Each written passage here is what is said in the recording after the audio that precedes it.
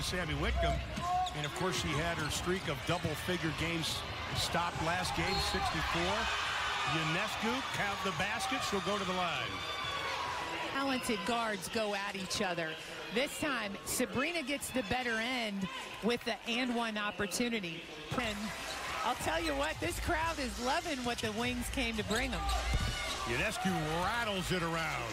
Just kind of shook her out of a little bit of a shooting slump that she was in so far and helped her find a little bit of aggressiveness. Ionescu bangs into Alarie for the two. One thing, perseverance is the word I've used to describe Sammy over the last couple of years. Again, back door. Okay. This time it's went through the pick. Shot clock reached five. Good job defensively. Sabrina got it back on the layup. Got it.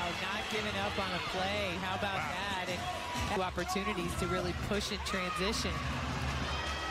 The three from deep in the corner. No. Offensive rebound. Ionescu, The little things. Excuses.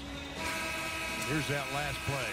Well, we see right here just the unboxed out Ionescu finding an easy offensive.